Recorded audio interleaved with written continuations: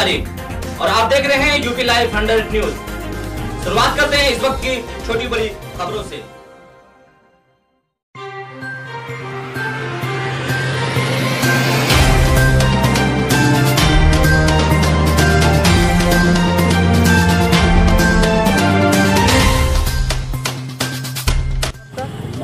मेरा नाम है मुश्ताक अली नेता नगर अध्यक्ष कांग्रेस। नेता ये बताइए कि ये सड़क लगभग कब से ध्वस्त पड़ी है? जो मेन मार्केट ट्यूबवेल रोड बताई जा रही है। कम से कम सात साल। सात साल से बिल्कुल ध्वस्त पड़ी है। जी। ये सड़क के ध्वस्त पड़ी क्या जन समस्याएँ पैदा हो रही है इससे?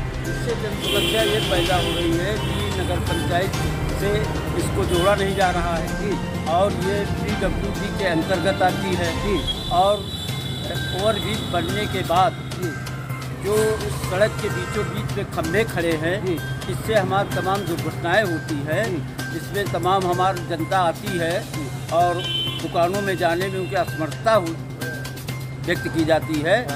और इन रोडों का अगर पीडब्ल्यूडी द्वारा जो है भारत सरकार द्वारा ये स्टेट गवर्नमेंट द्वारा अगर ये नहीं बनवाई जाती है तो बड़ा अपूर्ण बात है और बहुत गलत बात है। और इसको आवागमन स्वच्छ होना चाहिए।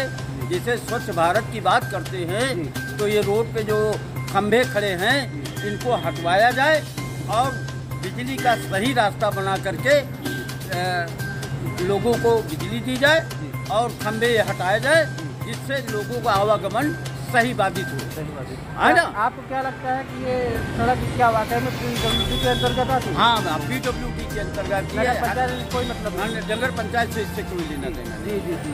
इस इसकी वजह से हमारा काम रुका पड़ा है नहीं अगर नगर पंचायत के अंतर्गत में आता होता तो अब तक बन गई होती। जी जी। इसलिए मैं सरकार द्वारा जो ये कार्यक्रम हो रहा है कि ये खंभे ये रोड के हटाए जाए और यहाँ सही व्यवस्था की जाए जिसमें हज़ारों हज़ारों की जनता आती जाती है उनको बहुत परेशानी होती है। इसको इसको तत्काल प्रभाव से इसको ठीक कराया जाए। यही मेरी मांग। जी धन्यवाद।